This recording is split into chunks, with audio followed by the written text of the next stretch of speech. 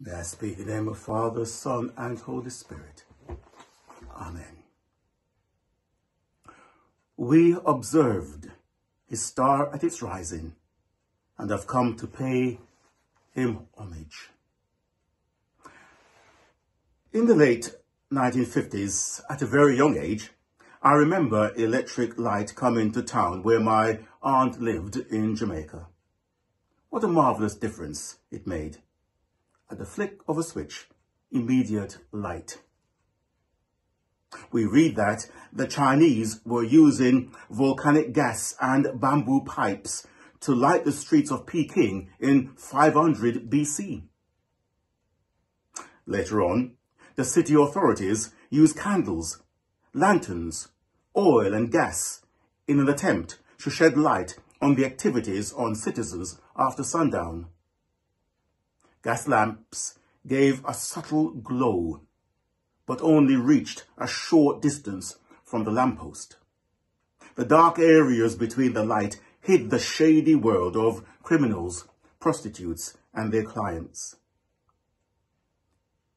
In the 1870s, Paris led the way with electric street light lighting. In the UK, the London suburb of Brixton was one of the first to be lit by electricity in 1880. Casting its brilliant illumination far and wide, electric light transformed the city streets. It swept away the dark deeds that were done under the cover of darkness. The arrival of this new bright light was hailed as progress, which improved safety for all.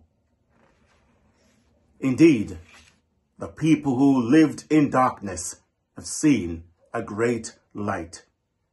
The light of Christ has come into the world. The shadowy world of animal sacrifices was displaced once and for all time. Jesus, the sacrificial Lamb of God, the light of the world, is come. Christ the light draws us unto himself. Christ be our light. Shine through the darkness. The Epiphany is all about light. Isaiah, Isaiah's prophecy states that bearers of gold and frankincense will come attracted by the light. Matthew talks about the wise men who came from the east.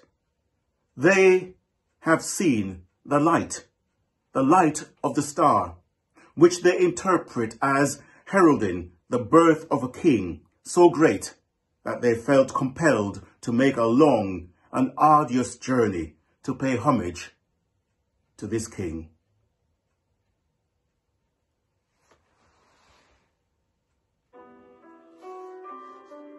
Longing for light.